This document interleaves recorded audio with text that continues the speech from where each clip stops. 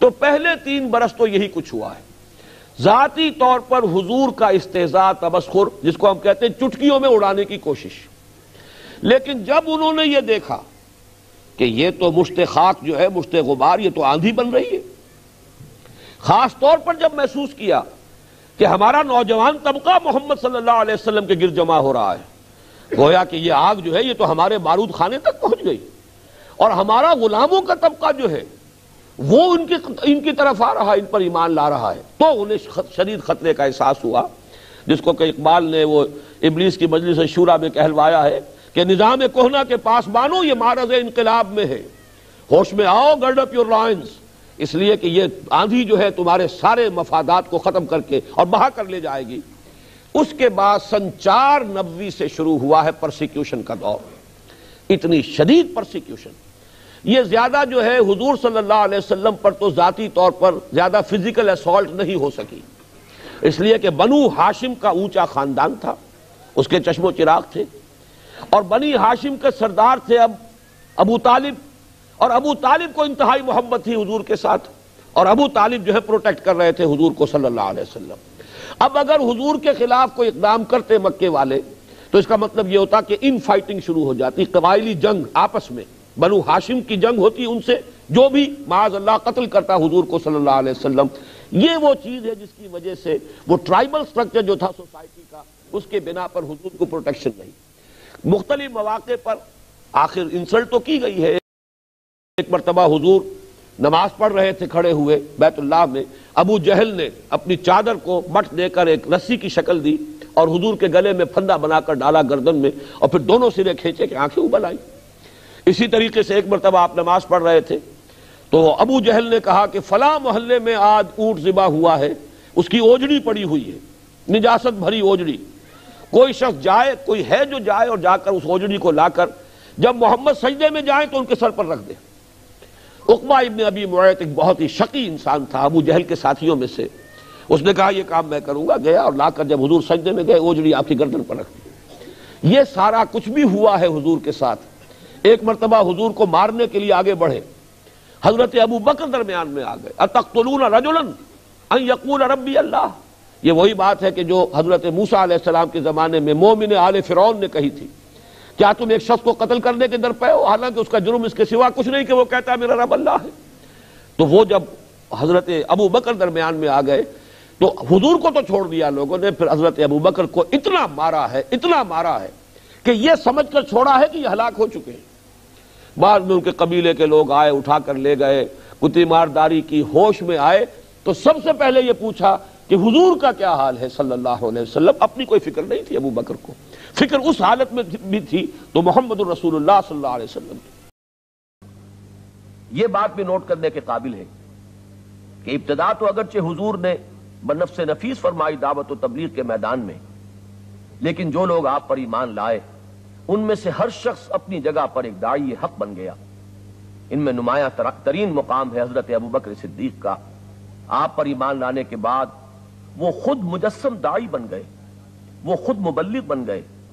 चुनाचे हमें यह मालूम है कि सहाबा किराम में जो चोटी के दस सहाबा हैं, जिन्हें हम अशर मुबशरा के नाम से जानते हैं, उनमें से छह वो हैं जो हज़रत अबू बकर सिद्दीक रज़ी अल्लाह तु की दावत तबलीग से ईमान लाए।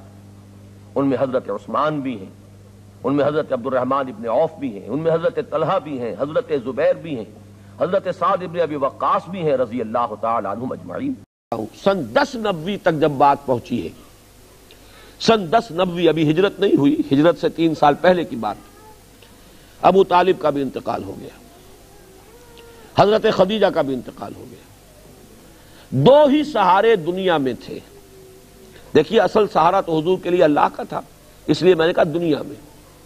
घर में एक जान निसार बीवी के हजूर जब बाहर से आते थे और जो भी तकदुर तबीयत पर होता था, लोगों के कहने सुनने से, लोगों के इस्तेजा से तमस्खुर से, उसका असर लेकर आते थे। घर में एक बीवी थी दिलजोई करने वाली, कुछ ना कुछ उन एहसास को बांटने वाली, वो भी ना रही। और अबू तालिब एक सहारा बने हुए थे। कि बनु हाशिम की सरदारी अबू तालिब के पास है। अबू तालिब अपने भतीजे का साथ छोड़ नहीं रहे। हालाँकि आखिरी मरहले पर आकर उनकी हिम्मत भी जवाब दे गई थी। आखिरी सफारत जो आई है, दो सफारतें आई अबू तालिब के पास, कुरैश के सरदारों की। पहली सफारत तो यह आई कि अबू तालिब, अपने भतीजे से कहो, उसे जो चाहिए, हम उसे पेश कर देंगे। दौलत चाहिए, दौलत के अंबार उसके कदमों में लगा देंगे। उसे सरदारी चाहिए, हम उसे अपना बादशाह बना लेते हैं, बादशाह मान लेते हैं। और अगर कहीं इशारा कर दे कि वहाँ मुझे शादी करनी है, जिस खानदान में, जिस ज़्यादा से ज़्यादा खूबसूरत और साहिब, सरवत दौलत औरत से कहे शादी कर देते। लेकिन ये हमारे मबूदों को गलत कहना और हमारे दीन को गलत कहना, इसको छोड़ दें। हजूर अलैहि ने जवाब दिया कि, चचा जान, अगर ये मेरे एक हाथ पर सूरज रख दे और एक पर चाँद रख दे, तब भी मैं अपने इस काम से बाज नहीं आ सकता। ये तो मिशन है मेरा, अल्लाह की तरफ़ से। मैं अपने लिए तो नहीं कर रहा। इसके बाद जो आखिरी सफारत आई है, उसमें तो अबू तालिब की हिम्मत भी जवाब दे गई। इसलिए कि उन्होंने साफ़ चैलेंज कर दिया था कि अबू तालिब अब हमारे सब्र का पैमाना लबरेज हो चुका है। और अब तो या तो तुम साथ छोड़ दो अपने भतीजे का, और या तुम भी मैदान में आ जाओ, हम मुकाबला करेंगे तुम्हारा भी। उस वक्त बुलाया अबू तालिब ने हुजूर को कि, भतीजे, मुझ पर इतना बोझ ना डालो जिसे मैं बर्दाश्त न कर सकूँ। जहाँ तक मेरा मुताला है, ये मक्की दौर में उस वक्त हजूर की आँखों में आँसू आए। पहली मरतबा। आपने फरमाया, महसूस किया कि ये एक दुनियावी सहारा था, चचा साथ दे रहा था, इसकी भी हिम्मत जवाब दे रही है। लेकिन हजूर ने फरमाया, चचा जान, अब या तो ये काम पूरा होकर रहेगा, या मैं अपने आप को इसी में हलाक कर लूँगा, और कोई रास्ता मेरे लिए नहीं। बहरल अबू तालिब को फिर अल्लाह ने हिम्मत दी, वो फिर डट गए। लेकिन यह कि सन दस में आकर इंतकाल हो गया। अब कुरैश ने तय कर लिया कि अब कत्ल कर दो इनको। रेजोल्यूशन इसलिए कि उनका दारुन नदवा था, उनकी भी पार्लियामेंट थी, चौपाल थी। अगरचे कोई वैसा निज़ाम नहीं था, कोई बादशाह नहीं था, लेकिन यह कि एक कबीले का जो निज़ाम होता है, मुख्तलिफ़ घरों के जो सरबराह थे, वो जमा होते थे और वहाँ पर फैसले करते फैसला हो गया, अब इनको खत्म कर दो। खुजूर तक इतला पहुँची। हुजूर ने अब ताइफ का सफ़र इख्तियार किया। कि मक्के में तो अब गोया कि ये दरपे हो गए मेरी जान के। ताइफ जाऊँ, शायद वहाँ के सरदारों में से कोई ईमान ले आए। तो फिर मैं अपना मुस्तकर, वहाँ पर मैं अपना बेस बना लूँ, वहाँ मरकज बना लूँ।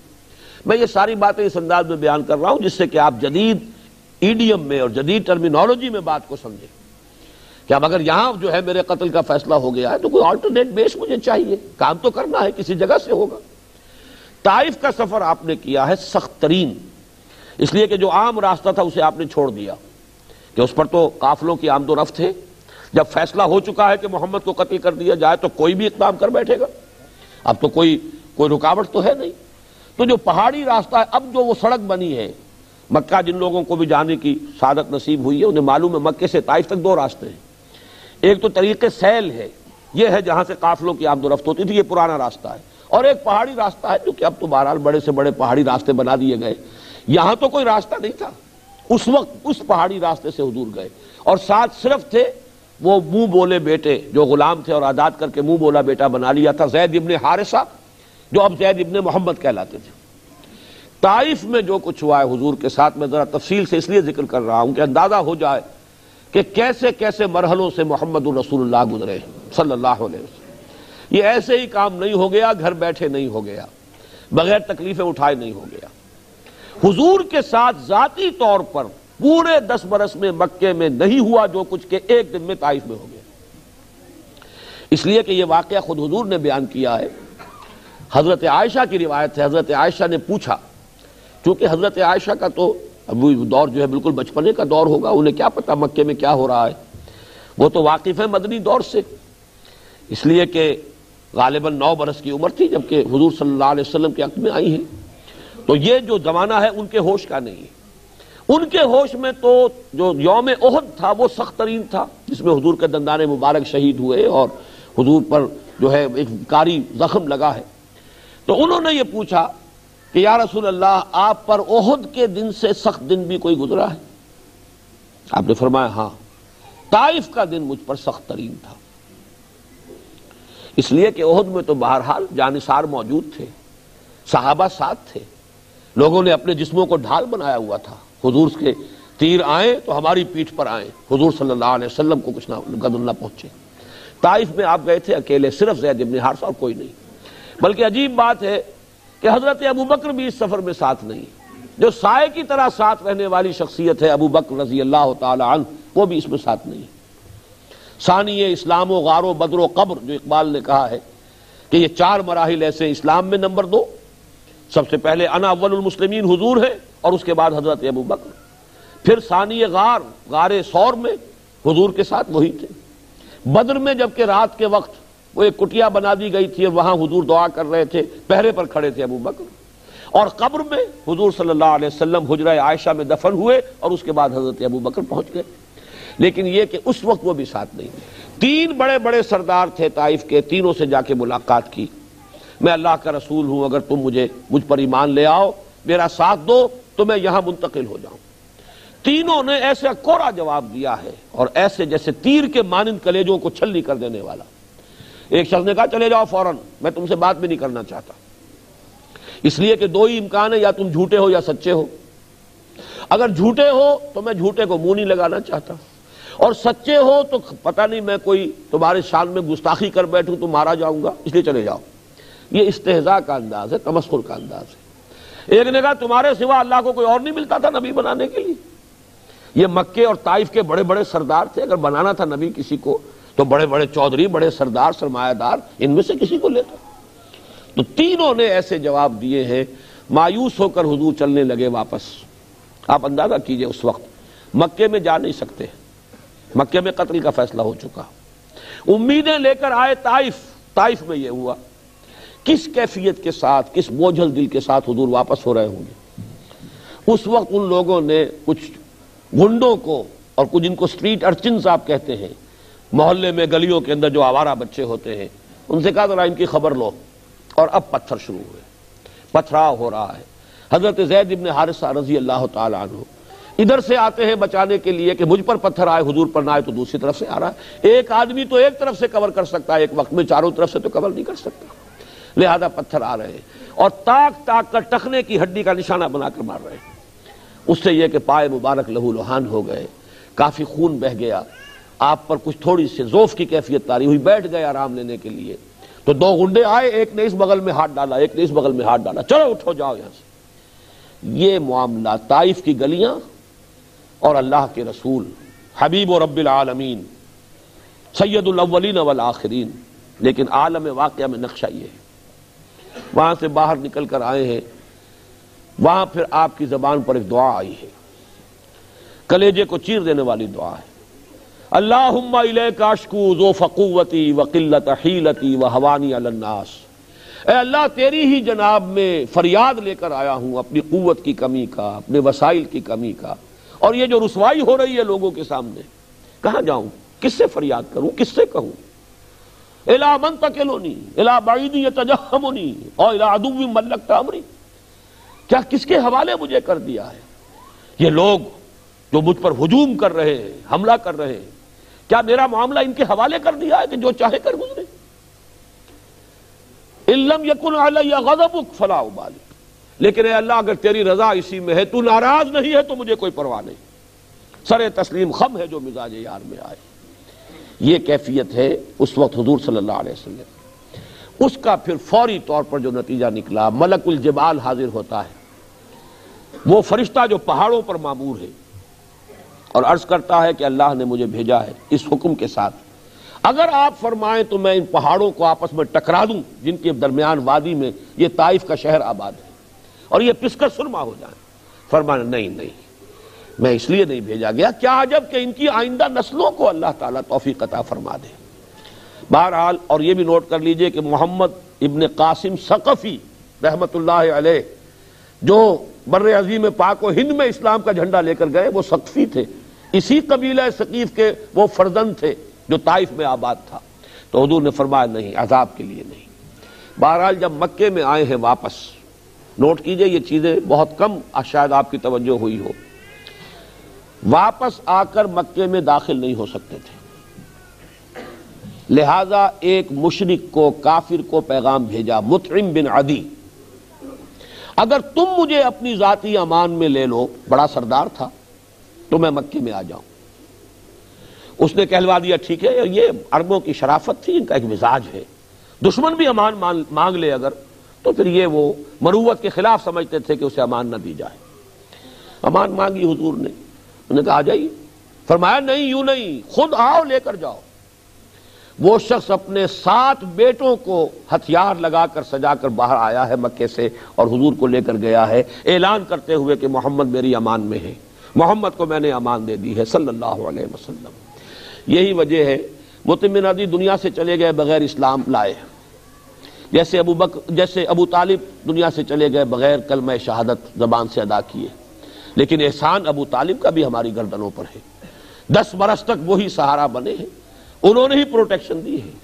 वो खानदानी अगर ये सहारा मौजूद न रहता तो शायद उससे बहुत पहले इकलाम हो जाता।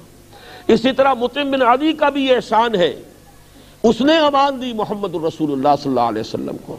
और मक्के में अगर आप रहे, उसके बाद तीन बरस तकरीबन तो उसकी अमान में रहे। उसकी प्रोटेक्शन थी।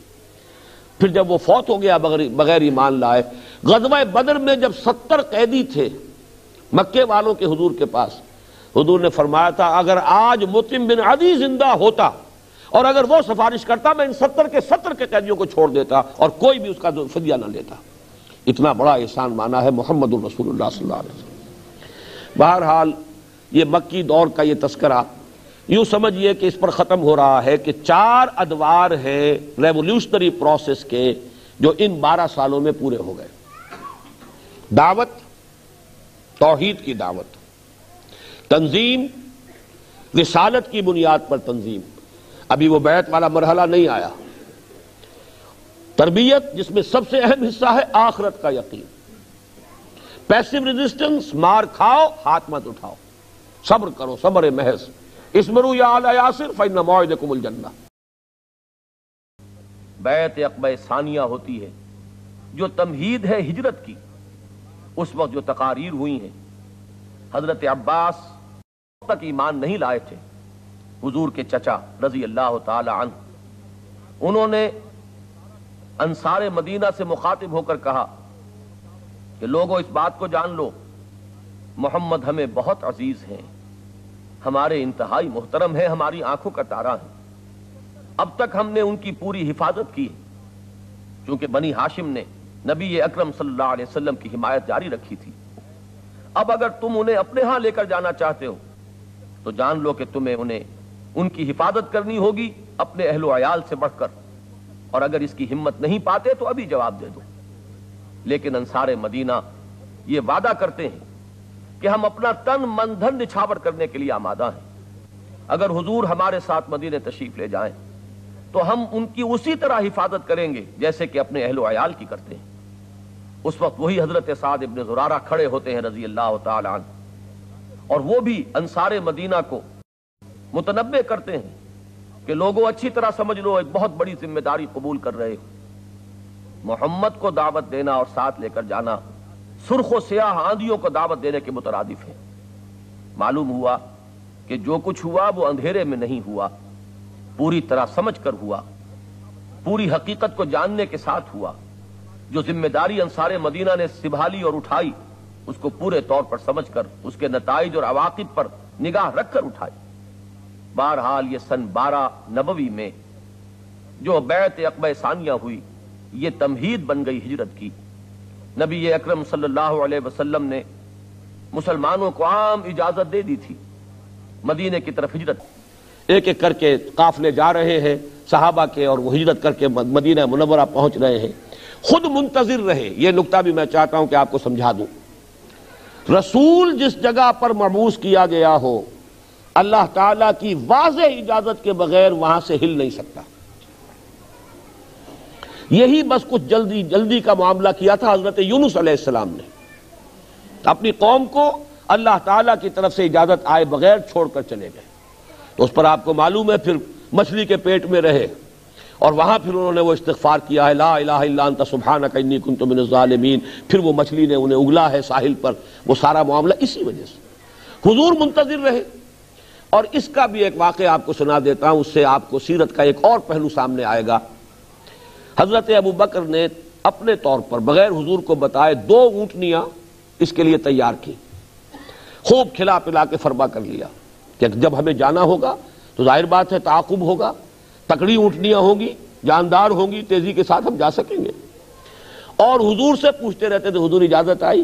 हजूर, इजाज़त आई। आप फरमाते थे, नहीं, अभी इजाज़त नहीं आई। हज़रत आयशा फरमाती है, बहुत छोटी उम्र थी उस वक्त। कि एक रोज हमने देखा, दोपहर के वक्त हजूर चले आ रहे हैं, अपने चेहरे को ढांपे हुए हम हैरान हुए। ये दोपहर के वक्त अरब में कहीं जाना, किसी को विज़िट करना, ये उस वक्त ही से बहुत ही, यानी गैर मामूली और मायूब बात समझी जाती है। कैलूला जो है, वो अरब के मिजाज में हमेशा से है। बहरहाल, बहुत ही गैर मामूली बात थी। हजूर तशरीफ़ लाया, आपने फरमाया, इजाज़त आ गई है। हज़रत अबू बकर खुश हुए। और जैसे कि कोई शख्स जो किसी ने कोई मेहनत की हो, फिर वो अपने उस मेहनत के ऊपर उसे कोई खुशी होती है कि मैंने इस वक्त के लिए तैयारी की हुई है। मैं बताऊँगा हजूर को कि मैंने दो ऊँटियाँ तैयार की हुई हज़रत अबू बकर ने फरमाया कि, हजूर, मैंने दो ऊँटनियाँ तैयार की हुई हजूर ने तवक् फरमाया और फिर यह फरमाया अच्छा एक ऊँटनी मैं इस्तेमाल करूँगा, लेकिन मैं उसकी कीमत अदा करूँगा। हज़रत उमर रो पड़े। उन्होंने अर्ज़ किया कि, या रसूल अल्लाह क्या ये जिस्म और जान और ये माल आपके सिवा किसी और के लिए है? आप मेरे साथ भी ये मुगारत बरत रहे हैं। लेकिन यह गैरत है मोहम्मद वसल्लम की।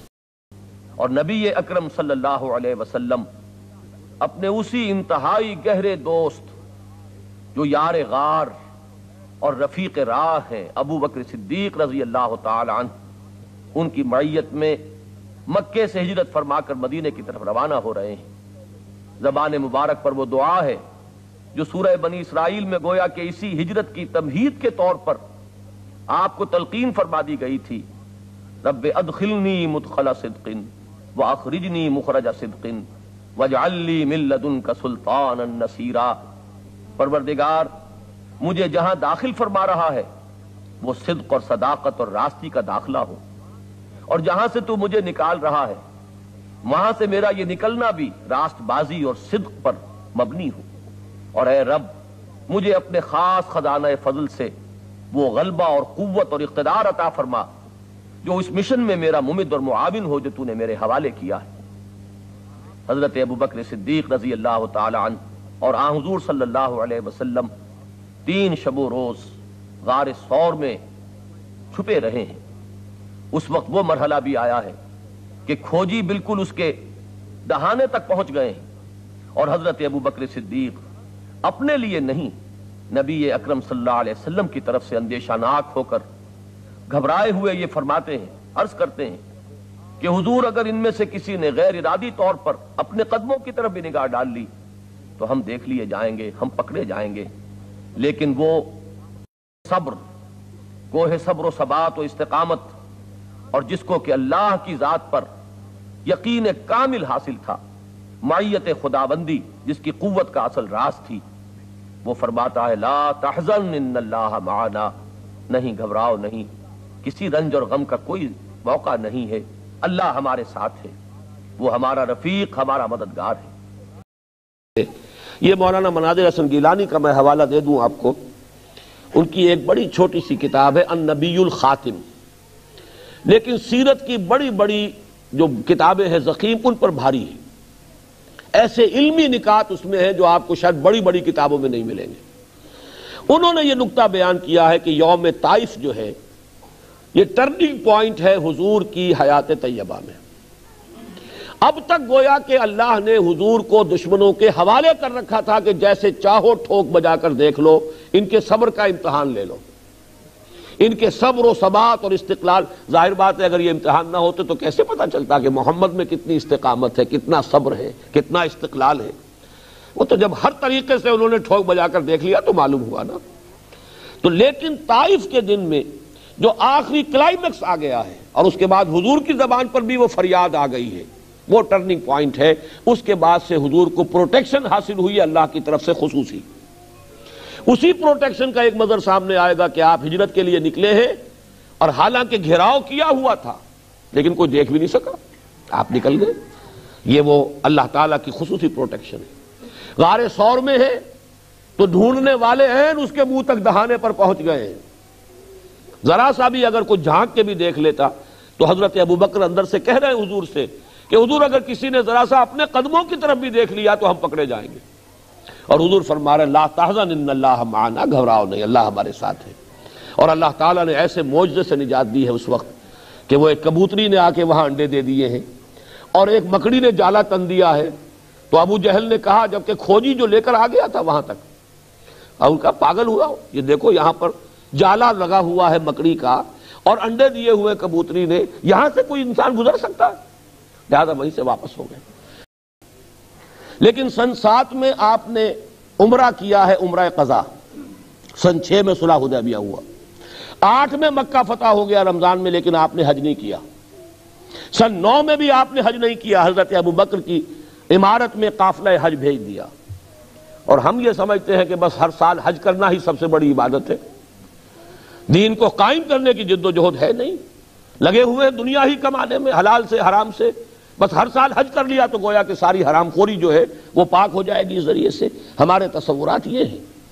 हुजूर की सारी तवज्जो है उस अपने मिशन पर, दीन को गालिब करने की जिद्दोजहद वरना हुजूर से ज़्यादा किसको ख्वाहिश होगी हज करने की? सन आठ में हज नहीं किया, सन नौ में हज नहीं किया, सन दस में किया। सन दस में जब हज किया है, आपने तो अपना वो खुतबा दिया। ए मुसलमानों, ये बड़ा तारीखी खुतबा है हजरतुलविदा का। बुनियादी जो अमूर थे अपनी दावत के, वो फिर असर नौ वाजे किए। आखिर में एक सवाल किया अलाहल बल्लक तो लोगों, मैंने पहुँचा दिया या नहीं? और यह हैरत अंगेज वाकया है कि हुजूर के एक सवाल के जवाब में साहबा ने तीन बातें कही। इन्ना नशद अन्ना का कद बल्लगता व देता व नसाहता। बल्कि एक रिवायत में चार है। अन्ना का अद्दैत अमानता व बल्लगतर रिसालता व नसातल उम्मता हम गवाह हैं नबी आपने रिसालत का हक अदा कर दिया पैगाम का हक अदा कर दिया हमारी खैर खाई का हक अदा कर दिया आपने गुमराही के जो पर्दे हैं अंधियारे उन्हें चाक कर दिया तीन मरतबा हुजूर ने सवाल किया तीन मरतबा जवाब लिया फिर आपने निगाह उठाई आसमान की तरफ़ अंगुश्त शहादत से इशारा किया तीन मरतबा पहले आसमान की तरफ़ इशारा, फिर लोगों की तरफ़। सवा लाख का मजमा था। तस्वुर कीजिए। बाईस बरस पहले एक तनहा आदमी खड़ा हुआ था दावत लेकर। उसे मजनू कहा गया, शाहिर कहा गया, शायर कहा गया, पागल कहा गया, मशहूर कहा गया। इन तबेन रजुलम मशहूरा साहिर मशहूर, शायर कज्जाब ना मालूम क्या क्या कुछ कहा गया। अकेला आदमी। और कुल बाईस बरस। बाईस बरस भी कौन से? कमड़ी जो हमारे इक्कीस बने। और इनकलाब अजीम, सवा लाख का मजमा सामने और खुतबा दे रहे अलाहल बल्लग तो इन्ना नशद कद बल्लग तल रिसालता व तल अमानता व नसा तल उम्मता व कशब तल उम्मता। अब आप फरमाते हैं अल्लाह मशद अल्लाह मशद अल्लाह मशद अल्लाह तू भी गवा रहे। इसको मैं कहा करता हूँ साई ऑफ़ रिलीफ वो बारे गरां जो मेरे कंधे पर आया था। अल्लाह गवा रहे ये मान रहे हैं, मैंने पहुँचा दिया। मेरा फ़र्ज़ मनसबी अदा हो गया। यही गवाही अल्लाह ताला के रसूल क्यामत के दिन देंगे। फ़कै फ़ैज़ा जे ना मिनकुल्ल उम्मत बे शहीदिन वजे ना बेका अला शहीदा। हर उम्मत के का रसूल खड़ा होगा पहले टेस्टिफाई करेगा प्रोजिक्यूशन विटनेस की हैसियत से। अल्लाह तेरा दीन जो मुझ तक आया था, मैंने पहुँचा दिया था। Now they are responsible they are accountable वो जवाब दे।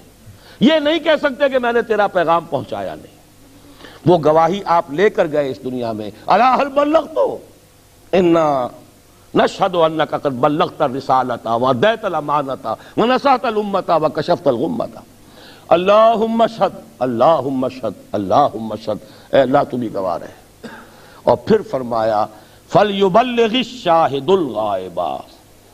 अब ये बोझ मेरे कंधे से उतरकर तुम्हारे कंधों पर आ गया है। अब तुम्हें पहुंचाना है जो यहाँ है। उनके जिम्मे है पहुंचाना उनको जो यहाँ नहीं जो यहाँ नहीं है, में वो पूरी नौ इंसानी भी शामिल थी जो उस वक्त दुनिया में मौजूद थी। और वो पूरी नस्ल इंसानी भी जो क्यामत तक दुनिया में आएगी। इसलिए कि वो आयत में आज भी आपको सुना चुका मार सल्ला का काफत से बशीरम व नजीरा। हमने तो आपको भेजा है पूरी नौ इंसानी के लिए। तो अभी वक्त फुर्सत है कहाँ, काम अभी बाकी है। अभी तो एक मुल्क है जिस पर अल्लाह के दिन का झंडा लहरा रहा है। दिन का गलबा हुआ सिर्फ़ जजीरा नुमाए अरब पर।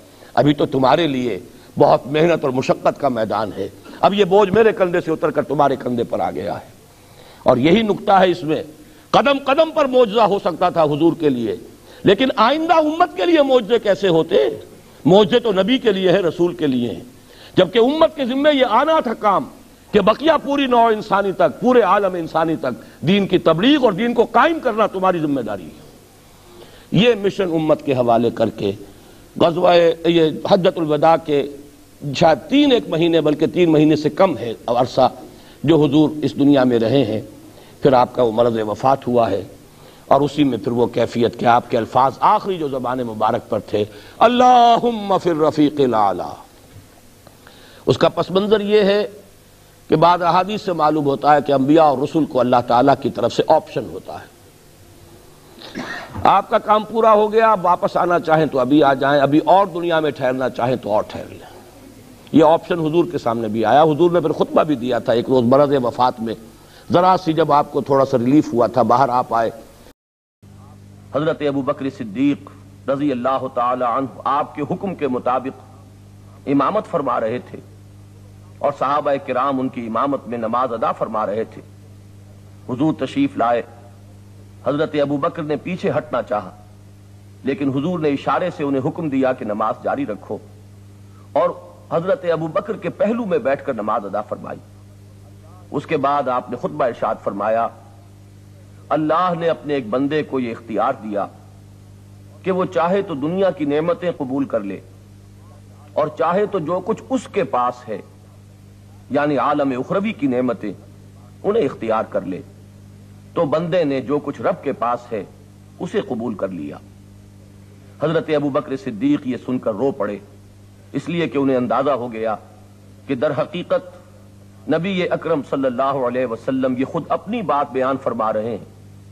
और आपने हमसे जुदाई और रफीक आला की तरफ़ मुराजत का फैसला कर लिया है।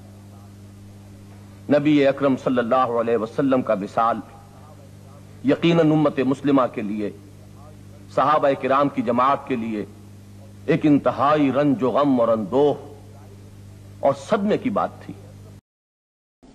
ममा मोहम्मद रसूल। उसी में एक दफ़ा यह भी हो गया था कि कुछ लोगों ने यह कहा कि जब मोहम्मद का इंतकाल हो गया तो अब किस लिए जंग करनी हज़रत उमर भी है उनमें से। जब खबर यह उड़ गई कि हजूर फौत हो गए, उन्होंने तलवार फेर दिए बैठ गए। अब किसके लिए जंग करनी तो उसमें कहा गया कि यह तो तुम्हारा गलत रवैया है। गिरफ्त हो रही है। हर एक के ऊपर गिरफ्त होगी। पहली गिरफ्त मोहम्मद पर हो गई सल्लाह तो हज़रत उमर बहरहाल हजूर के मुकाबले में तो कोई हैसियत नहीं। उन पर भी गिरफ्त हो रही। वमा मोहम्मद रसूल, और मोहम्मद कुछ नहीं है सिवा कि वो अल्लाह के रसूल है। वो मबूद तो नहीं है। तुम उनके लिए तो जिहाद नहीं कर रहे तुम जिहाद अल्लाह के लिए कर रहे हो। दीन का गलबा जो है, वो अल्लाह के दीन का गलबा है। मोहम्मद की हैसियत क्या है? वो तो अल्लाह के रसूल है। वह माँ मोहम्मद रसूल, कद खलत मिन कबल रसूल। और उनसे पहले बहुत से रसूल गुजर चुके। अफाई माँ था। तो अगर वो उनका इंतकाल हो जाए औकतला या बिलफर्ज वो कत्ल हो जाए कलब तुम अलाकाबिकुम तो क्या तुम अपनी एड़ियों के बल लौट जाओगे? यही तुम्हारे दीन और ईमान की हकीकत है। वह कलिब अलाकब फल्ला शया। और जो कोई भी अपनी एड़ियों के बल लौट जाएगा वह अल्लाह को कोई नुकसान नहीं पहुंचाएगा। वसैजिल्ला शाकिरीन। हाँ अल्लाह बदला देगा शुक्र करने वालों को। हज़रत उमर चूँकि जज्बाती इंसान थे, इसमें कोई शक नहीं। तकरीबन यही कैफियत हजूर के इंतकाल पर फिर हो गई थी उनकी। तलवार खींच कर बैठ गए थे, जो कहेगा, मोहम्मद का इंतकाल हो गया, सर उड़ा दूँगा उसका। वो तो फिर हज़रत अबू बकर आए, वो यार गार सानिय इस्लाम गारो बदरो कब्र। वो आए हैं, उनके लिए चूँकि रुकावट नहीं थी, हज़रत उमर तो अंदर जा नहीं सकते थे, हज़रत आयशा का हुजरा था। अब हज़रत आयशा बेटी है, हज़रत अबू बकर की, वो सीधे गए हुजरे में। जाकर चेहरे पर, चेहरे मुबारक पर चादर थी हटाई और आपकी पेशानी को बोसा दिया और कहा कि अब दोबारा मौत आप पर वारिद नहीं होगी, अब तो हयात जावेदानी आपको हासिल हो चुकी। फिर बाहर आकर यही आयत पढ़ी वमा मोहम्मद रसूल कद खलत बिन कबल रसूल अफाई मात आओ खुतल कलब तुम्हारा हज़रत उमर कहते हैं मुझे महसूस हुआ जैसे ये आयत अभी नाजिल हुई है इतना असर हुआ ये अजीमत थी हज़रत अबू बकर की बहुत बुलंद मकाम है हज़रत अबू बकर का वमा कान नफसन अल्लाह बेजन और किसी जान के लिए यह मुमकिन ही नहीं है कि वो मर सके उस पर मौत वारिद हो मगर अल्लाह के हुक्म से किताबम मुअज्जला वो तो लिखी हुई शय है, अजले मुन के साथ, हर एक का वक्त तय है। Death is the best guard आपका बॉडी गार्ड जो है, सबसे बेहतरीन, वो मौत है। मौत का वक्त जब है, तभी आएगी, उससे पहले कोई आपके लिए मौत ला नहीं सकता। लिहाजा, सबसे बड़ी हिफाजत इंसान के लिए खुद उसकी मौत है। वमा कान नफ्सल तमूत किताबन मुअज्जला। वमन सवाब दुनिया नोत ही मिनहा। जो कोई दुनिया का अजर सवाब चाहता है, हम उसे देते हैं। ये सूरह बकरा में भी हम पढ़ चुके थे हज के ज़िक्र में। वमन युरिद सवाब आखिरत नोत ही मिनहा। और जो वाक़ता आखिरत का सवाब चाहता है, बदला चाहता है, जदा चाहता है अपने अमाल की, हम उसमें से उसको देंगे। बस बसमज शाकिरीन और शुक्र करने वालों का को हम जजा देंगे। लेकिन ज़ाहिर है कि नबी अकरम सल्लल्लाहु अलैहि वसल्लम जो मिशन उम्मत के हवाले करके गए थे, उसकी तकमील नहायत अहमियत की हामिल थी। चुनाचे हम ये देखते हैं कि आ हुजूर ने जो नज्म जमात कायम फरमाया था, उसका जहूर होता है कि वो कितना पुख्ता नज्म जमात था कि फ़ौरन ही मशवरों के तमाम मराहल तय पा गए। और नबी अकरम सल्लल्लाहु अलैहि वसल्लम ने जिन्हें नमाज़ की इमामत के लिए आगे बढ़ाया था और जिन्होंने सत्रह नमाजें हुजूर की हयात दुनियावी के दौरान मुसलमानों को इमाम बनकर पढ़ाई थी, उन्हीं की खिलाफत पर उम्मत का इजमा हो गया। हज़रत अबू बकर बिलाशुबा सिद्दीक अकबर हैं रज़ी अल्लाह तन और यह जान लेना चाहिए कि मकाम सिद्दीकियत, मकाम नबूवत से बहुत कुर्ब रखता है, बल्कि शेख अहमद सरहंदी रहमत अलमारूफ बह मुजद अल्फसानी रहमत उनका कौल तो यह है कि हकीकत सिद्दीकी जिल हकीकत मोहम्मदी अस्त मकाम सिद्दीकी दर हकीकत, मकाम नबूवत का जिल और साया है। चुनाचे हम ये देखते हैं कि हज़रत अबू बकर सिद्दीक रज़ी अल्लाह तु की कुल ढाई साल खिलाफत के दौरान नबी अक्रम सल्लल्लाहु जजीरा नुमाए अरब में जिस इनकलाब की तकमील फरमा गए थे, उसके असर नौ इस्तेकाम का अमल ब तमाम कमाल पूरा हुआ। तारीख आलम में जितने इनकलाबात आए हैं, उन सब में आपको एक बात कदर मुश्तरक के तौर पर मिलेगी कि इनकलाब जब अपने आखिरी मराहल में होता है उस वक्त इनकलाब दुश्मन ताकतें कोनों खदरों में दबक जाया करती हैं। मुंतजिर रहती हैं कि फिर जब भी मौका हो वो सर उठाएँ और इनकलाब पर हमला आवर हो और उसे नाकाम करने की कोशिश करें। चुनाचे यही अमल है जो नबी अकरम सल्लल्लाहु के इंतकाल के फ़ौरन बाद हमें जजीरा नुमाए अरब में हर चार तरफ़ नज़र आता है। बिल्कुल ऐसे समा बन गया कि जैसे फरमाया गया था कि वराय तन्ना सैद खलून फ़ी दीन अल्लाह अफवाजा। आपने देख लिया कि लोग दाखिल हो रहे हैं अल्लाह के दीन में फौज दर फौज। हजूर के इंतकाल के बाद आर्जी तौर पर मंजर यह सामने आया कि जैसे यखरुजूना मिन दीन अल्लाह अफवाजा का मामला हो गया, लोग फौज दर फौज अल्लाह के दीन से निकलने लगे। एक जानब नबूवत काजिबा के दावेदार झूठे मुद्दायान नबूवत खड़े हो गए और उनकी दावत पर भी लाखों की तादाद में लोगों ने लब्बैक कहा। दूसरी तरफ़ एक कसीर तादाद में लोग जक़ात का इनकार करके खड़े हो गए। हम तोहीद की गवाही देंगे, रिसालत की गवाही देंगे, नमाज़ भी कायम करेंगे, लेकिन जक़ात अदा नहीं करेंगे। ये दो चैलेंज थे निज़ाम खिलाफत के। इसके इस पसमंजर को जहन में रखिए। अरब में कभी कोई मरकजी हुकूमत थी ही नहीं। लिहाजा वो लोग आदि नहीं थे। अगर कोई हुकूमत पहले होती तो कोई टैक्स होते पहले, कोई आदि होते वो तो वहाँ पर तो कोई निज़ाम था ही नहीं। उन्हें जक़ात बहुत भारी लग रही थी। हमसे ये लिया जा रहा है। हमारी आमदनी का एक हिस्सा। ये बहुत उन्हें खल रहा था शाख गुजर रहा था। इसी तरीके से अरब की सूरत यह थी। कि पूरा मुल्क तकसीम था, कबायली। और हर कबीले का सरदार गोया कि अपने इलाके का वो बेताज बादशाह था। जैसे आपको मालूम है, अफ़गानिस्तान में तालिबान के आने से पहले वार लॉर्ड्स मुख्तलिफ़ इलाकों के अंदर उन्होंने फाटक लगा लिए, अपने इलाके बना लिए। हर एक अपनी जगह पर, मैं खुद यहाँ का मालिक हूँ मुख्तार हूँ। और अब तालिबान के खात्मे के बाद दोबारा वही सूरत पैदा हो गई। अमन अमान खत्म हो चुका है। वार लॉर्ड्स है उनके अपने इलाके हैं। तो उनके लिए ज़ाहिर बात है कि वो दबक तो गए थे। जब उनकी पेश नहीं जा रही थी, जब वो मजबूर हो गए थे, उन्होंने इतात कबूल कर ली थी। इसीलिए उनके बारे में सूरह हुजरात में फरमाया गया, कालत आराब आमन्ना। ये बद्दू कह रहे हैं, हम ईमान ले आए। कुल, ए नबी, इनसे कह दीजिए, लम तो मेनू तुम ईमान नहीं लाए हो। वला तिनकूलू असलमना। यूँ कहो कि हमने इतात कबूल कर ली है, हम इस्लाम ले आए हैं। वलम्मा यद खुल ईमान फ़ी कलूब अभी तक ईमान तुम्हारे दिलों में दाखिल नहीं हुआ। ये सबका मामला नहीं था, लेकिन अक्सर का मामला था। उनमें मोमिन सादकीन भी थे, लेकिन अक्सर का मामला यह था। यही वजह है, देखिए, जैसे कुरान मजीद की सूरत नाजिल हुई थी तकमील इनकलाब के बाद। इजाजा वरायतना सैद खलून फ़ी दीन अफवाजा। जब अल्लाह ताला की नुसरत और मदद आ गई और फतह हासिल हो गई और हुजूर को और साहबा को जजीरा नुमा अरब के अंदर गलबा हासिल हो गया, अब लोग फौज दर फौज आ रहे हैं इतात कबूल कर रहे हैं, दायरा इस्लाम में दाखिल हो रहे हैं। लेकिन नोट कीजिए, हुजूर के इंतकाल के बाद जो ये दो काउंटर रेवोल्यूशनरी मूवमेंट्स उठी, एक झूठे मुद्दयान नबूवत और एक मुनकरीन जक़ात उनके नतीजे में तकरीबन तू पूरा अरब मुर्तद हो गया। यखरजून अमिन दीन अफवाजा। अब फौज दर फौज वो अल्लाह के दिन से निकल गए। यहाँ तक कि इस्लाम सिर्फ़ मुल्क के हिजाज थोड़ा सा इलाका, उसके भी बड़े शहरों तक महदूद रह गया। ये खतरनाक सूरत हाल थी। जिससे कि हज़रत अबू बकर सिद्दीक रज़ी अल्लाह तु को साबता पेश आया।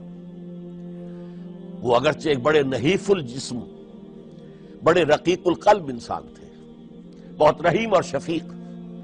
हुजूर की शख्सियत का अक्स कामिल थे। जैसे हुजूर की सब तबीयत में नरमी रिक्कत शफकत, रहमत, ऐसे ही उन लेकिन जब ज़िम्मेदारी का बोझ आया है, चैलेंज आया है तारीख का, उस वक्त मालूम हुआ कि उनकी तो शख्सियत आहनी है। बड़ी कवि, बहुत मज़बूत। उनका आज़म, उनकी हिम्मत, उनका इस्तकलाल, उनका अल्लाह पर तवक्कुल। इस मौके पर मैं आपको बताता हूँ, बहुत से लोगों ने मशवरा दिया था कि मसलहत का तकाजा है कि कई महाज ना खोलिए बैक वक्त। मुसलमानों के दिल पहले ही जख्मी है, हुजूर के इंतकाल की वजह से। फिर हुजूर ने एक जैश उसामा तैयार किया था। हमने चाहा था कि आप उसे रोक दें। आपने कहा, नहीं। जो लश्कर हुजूर ने तैयार किया, अबू बकर उसे नहीं रोकेगा, वो गया। फिर जो मुद्दयान नबूत हुए, वो तो यकीनन काफिर हो गए। लिहाजा उनसे भी कताल करना पड़ेगा। कम से कम मुनकरीन जक़ात के जिमन में नरमी कीजिए।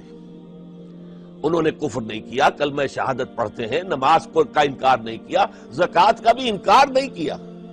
यह कहा कि हम आपको नहीं देंगे। अपनी जक़ात जमा करेंगे, अपने ही गरीबों में तकसीम कर देंगे। लेकिन हज़रत अबू बकर, और यहाँ तक कि हज़रत उमर ने मशवरा दिया कि मसलहत का तकाजा है कि मानईन जक़ात के साथ नरमी की जाए। हज़रत अबू बकर ने फरमाया, उमर, तुम अयाम जाहिलियत में तो बड़े सख्त थे, बड़े मज़बूत थे, बहुत ताकतवर थे। खुदा की कसम, अगर ये जक़ात में, हजूर के जमाने में ऊँट के साथ ऊँट को बांधने वाली रस्सी भी देते थे। और अब अगर ये कहेंगे कि ऊँट ले जाओ, रस्सी नहीं देंगे, तब भी मैं कताल करूँगा। इसलिए कि आयुबद्दीन वाना हाई क्या दीन में तरमीम कर दी जाएगी जबकि मैं ज़िंदा हूँ? अबू बकर के जीते जी ये नहीं हो सकता। लिहाजा हम देखते हैं तारीख के अंदर क्योंकि सिद्दीकियत बहुत आला मकाम है। नबूत के बाद का दर्जा, सिद्दीकीन, फिर शहदा, फिर सालहीन। और यह है सिद्दीक अकबर। अफजल बशर बादल अंबिया तहकीक। अबू बकर सिद्दीक। साल डेढ़ साल के अंदर अंदर। दोनों फितरों की सरकोबी कर दी गई। कंसोलिडेट हो गया इनकलाब दोबारा। इसमें हज़ारों साहब किराम की जाने गई। एक जंग जंग यमामा मशहूर है मुसलमा कजाब के खिलाफ। पाँच सौ हुफाज उस जंग में शहीद हो गए। तशवीश हो गई कि अगर हुफाज जो है इस तरह शहीद हो गए तो कहीं कुरान गुम ना हो जाए, जाय ना हो जाए। किताबी शक्ल में तो था ही नहीं। वो तो सीनों में महफूज था। इसलिए तजवीज पेश की गई कि अब इसे किताबी शक्ल में, जैसे किताब दो जिल्द के गत्तों के माबैन होती है, माबैन दुफतैन मुरतब कर दिया जाए। तब यह काम किया गया। बहरहाल, पहला मरहला यह था कि काउंटर रेवोल्यूशनरी मूवमेंट्स, चूँकि अभी इंकलाब सिर्फ़ अरब में आया था और अरब ही के अंदर से काउंटर रेवोल्यूशनरी मूवमेंट्स उभरी। झूठी नबूत और मानईन जक़ात की शक्ल में। और हज़रत अबू बकर रज़ी अल्लाह तहों ने अपनी अजीमत का सबूत देते हुए इन दोनों मूवमेंट्स को कुचल कर रख दिया और इनकलाब इस्लामी को असर नौ कंसोलिडेट करके फिर क्यादत हुक्म खुदाबंदी की रूह से कि उनके इंतकाल का वक्त आ गया तो हज़रत उमर फारूक को नामजद करके उनके सुपुर्द कर दी रज़ी अल्लाह उस एहसास के तहत के एक रोज अल्लाह के सामने खड़े होना है मुहासबे के लिए। एक अजीब कैफियत में कहा करते थे, काश के मैं दरख्त पर चह चाहती हुई एक चिड़िया होता, जिससे कोई मुहासबा नहीं है, हिसाब किताब नहीं है। काश के मैं घास का एक तिनका होता, जिससे कोई हिसाब किताब नहीं है। वो सूख जाती है तो आग में जला दी जाती है, बात खत्म हो जाती है। हिसाब किताब नहीं कहने वाला कौन है? अबू बकर सिद्दीक रसी अल्लाह कुरान मजीद भी कहता है, सूरह अम्म तसालून जो है, उसमें यही तो लफ्ज आया है, आखिरी आयत क्या है? यकूल काफिर या लेतनी कुन तो हाय काश के मैं मिट्टी होता। शरफ इंसानियत मुझे हासिल न हुआ होता। और फारसी में एक शायर ने कहा है, कैफियत क्या होगी कि हर इंसान कहेगा मरा काश के मादर नजादे काश के मेरी माँ ने मुझे कभी जना न होता। ये है वो जाल का खुसरानबीन इन इंसान लफी खुसन ये है ह्यूमन ट्रेजिडी।